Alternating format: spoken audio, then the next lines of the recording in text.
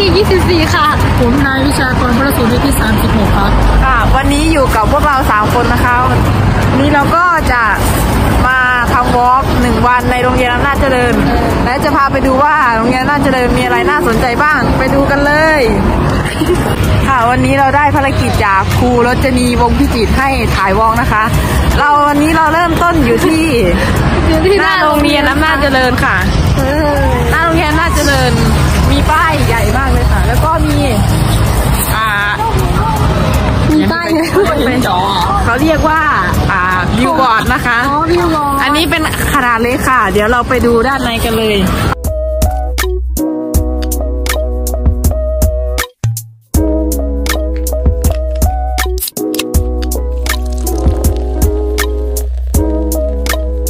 ค่ะตอนนี้เราอยู่ที่หน้าโรงเรียนอำนาจเจริญ บริเวณหน้าโรงเรียนอำนาจเจริญก็ก มีทั้งโดมอ่าสำหรับใช้เล่นกีฬาแล้วก็มีป้ายบิลบอร์ดใหญ่ ๆนะคะ ซึ่งน่าจะเป็นโรงเรียนเดียวในจังหวัดอำนาจเจริญที่มีป้ายนี้จะมีอะไรอีกบ้างไปดูกันเลย นี่นะคะจะเป็นบริเวณโดมหน้าโรงเรียนของเราที่คุณครูวิชาพละศึกษาใช้สอนนักเรียน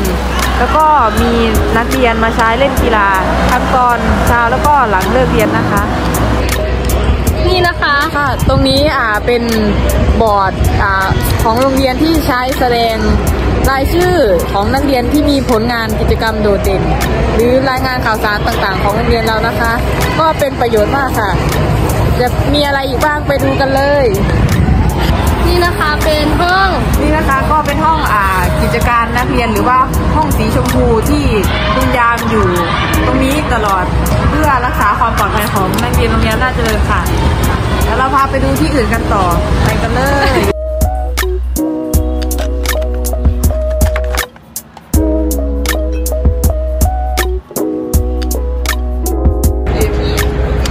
นี่นะคะก็เป็นบริเวณอาคารเจ็ดของโรงเรียนอำนาจเจริญก็จะเป็น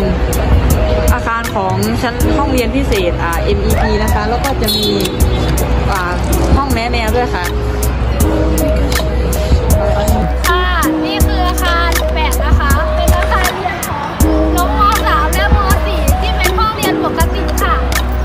ค่ะ ตรงนี้นะคะก็จะเป็นบรรยากาศบริเวณหน้าอาคารแปดก็จะมีสนามตะกร้อนี่นะคะ ก็จะมีโรงจอดรถด้านหลัง ก็มีที่จอดรถสำหรับคุณครูอยู่ด้านหน้า อาคารแปดก็กว้างขวางนะคะ สวยงามด้วยค่ะ มีอะไรอีกบ้างไปดูกันเลยนี่นะคะ อาคาร8ก็มีทั้งหมด 3 ชั้น ชั้นแรกจะเป็นน้องม .3 นะคะ ชั้นที่ 2 ก็จะมีทั้งม .3 และม .4 แล้วก็จะมีห้องอ่า ศิลป์จีนด้วยนะคะ แล้วก็ชั้นสุดท้ายก็จะเป็นม .4 ก็จะมีห้องศิลป์ญี่ปุ่น เดี๋ยวเราจะพาไปดูห้องศิลป์จีนกับห้องศิลป์ญี่ปุ่นจะเป็นยังไง ไปดูกันเลย นี่คือสนามฟุตบอลของโรงเรียนอำนาจเจริญยูเลยตรงกลางระหว่างอาคารแปดกับอาคารเจ็ดครับคือสาราตีมุกครับมีอะไรอีกบ้างไปดูกันเลยสวัสดีค่ะ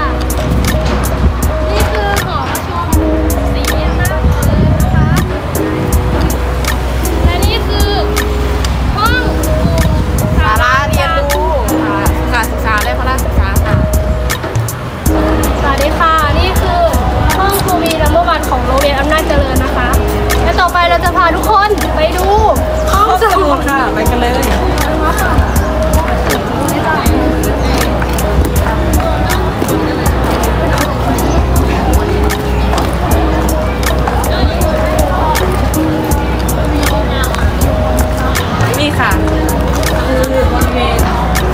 สมุดของเรียนอำนาจเจริญนะคะ ก็เป็นที่ที่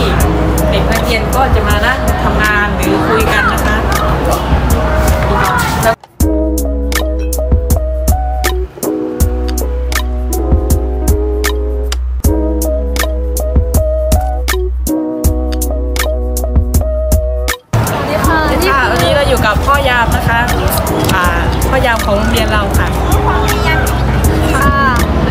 ตรงนี้ก็เป็นบริเวณอ่าลานพระหน้าโรงเรียนนะคะ ก็เป็นจุดที่คนมาไหว้ขอพรกันค่ะ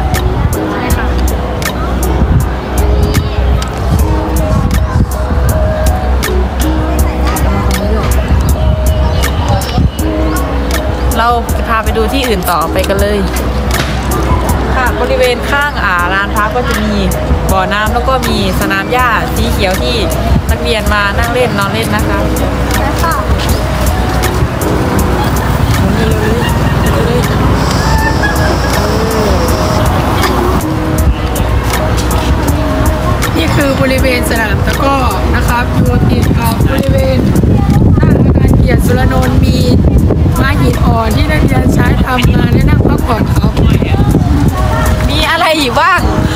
กันเลย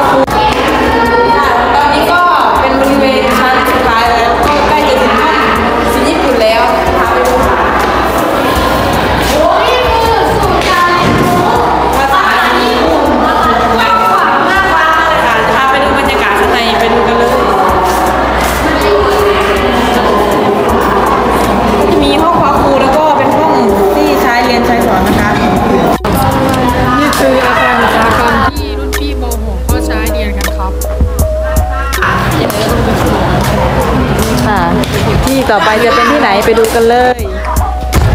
ค่ะตรงนี้ก็เป็นบริเวณหลังโรงอาหารหนึ่งนะคะเราก็กำลังจะไปกินข้าว เราจะพาไปอ่ารีวิวอาหารในโรงอาหารหนึ่งว่ามีอะไรบ้าง ไปดูกันเลย นี่คือก๋วยจั๊บร้านยิปนะคะจั๊บยิปร้านประจำเราเองค่ะหนูมากินทุกวันเลย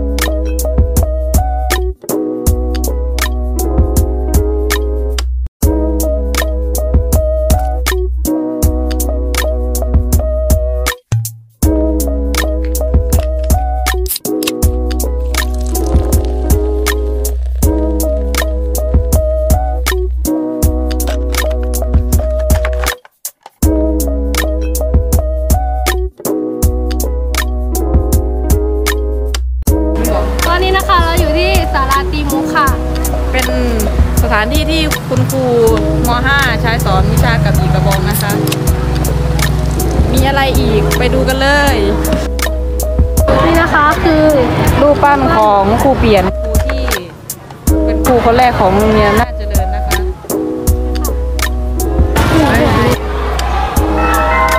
นี่ตอนนี้นะคะเราอยู่อาคารอาคารสองแต่ว่าฝั่งตรงข้ามเป็นอาคารหนึ่งก็ จะเป็นอาคารที่น้องมหนึ่งเรียนนะคะ ก็เดี๋ยวเราไปดูบรรยากาศอาคารหนึ่งกันค่ะไปกันเลยก็ตรงชั้นล่างจะมีสหกรณ์ที่ให้นักเรียนซื้อของสายสอย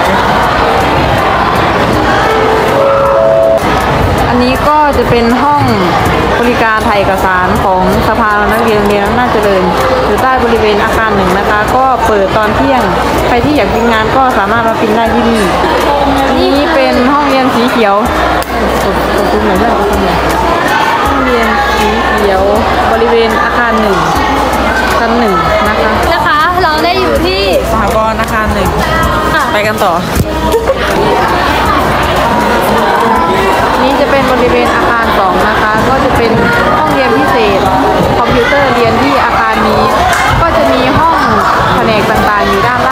าง เงินมาก็จะเป็นกลุ่มบริหารและส่งเสริมจัดการการศึกษา ต่อมาก็จะเป็นห้องวิชาการนะครับ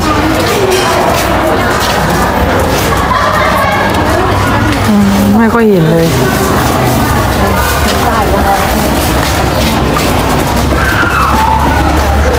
งานวัดผลและงานประเมินผล นี่คือห้องทะเบียนนะครับที่ครูรจนีวงศ์พิจิตรอยู่ครับสามนะคะเป็นอาคารที่เก่าแก่ที่สุดในโรงเรียนอำนาจเจริญนะคะณตอนนี้ก็ไม่มีใครเรียนแล้วค่ะก็พังก็โดนปิดการใช้งานไปแล้วค่ะอีกไม่นานก็จะโดนรื้อถอนซึ่งตอนเราอยู่มหนึ่งเราก็เคยเรียนอาคารนี้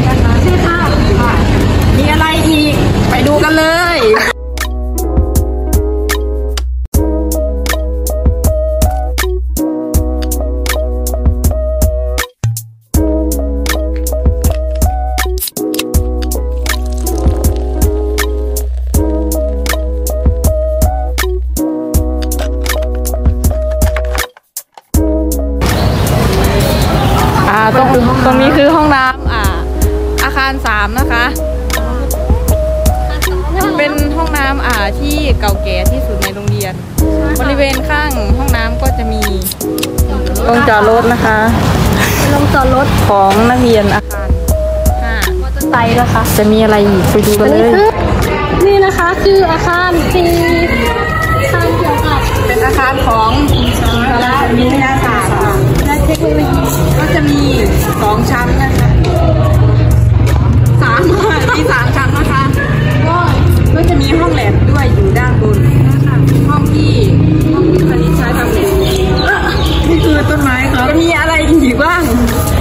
กันเลยนะคะเราก็อยู่อาคารศิลปะค่ะ ก็จะมีทั้งหมด 6 ห้องนะคะ ก็ใช้เรียนทั้งมต้นมปลายทั้งใช้เรียนแล้วก็ซ้อมดนตรีวาดรูปมีหมดเลยค่ะ ก็มีอะไรอีกบ้างไปดูกันเลย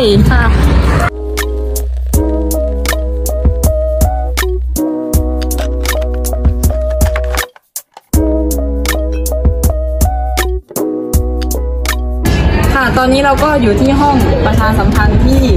ใครทำของหายหรือต้องการแจ้งอะไรก็มาที่ห้องนี้ได้ ก็จะมีครูที่คอยประชาสัมพันธ์ให้ค่ะมีอะไรอีกไปดูกันเลย นี่นะครับก็คือห้องพยาบาลที่คนไม่สบายเขาก็จะมาพักผ่อนปวดหัวตัวร้อนตัวไข้เจ็บท้องก็มาเอายาที่ห้องพยาบาลครับมีอะไรอีกไปดูกันเลย เราเดินมาถ่ายวอล์กแล้วก็เจอตังหล่นบริเวณโดมอาคาร5เราจะพาเอาไปแจ้งห้องประชาสัมพันธ์ค่ะ ไปกันเลย ค่ะ ตอนนี้ก็อยู่หน้าห้องประชาสัมพันธ์นะคะกำลังเอาตังค์ที่เก็บได้ไปประชาสัมพันธ์ไปกันเลยไปกันเลย ตอนนี้นะคะเราอยู่ที่โดโดมมค่ะถัดมาจากอาคารหกเป็นโดมหน้าเสาธงที่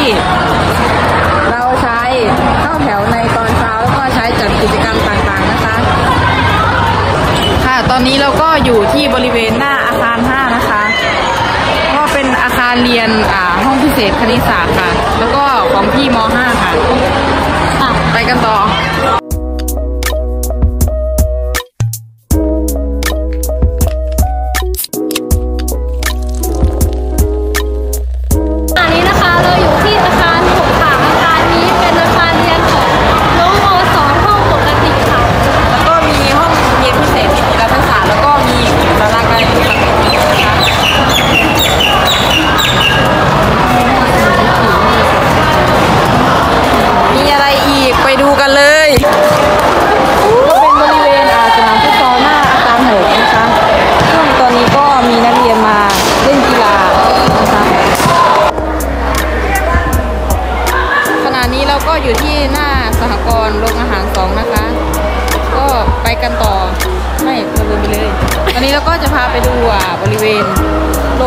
ารสองคะ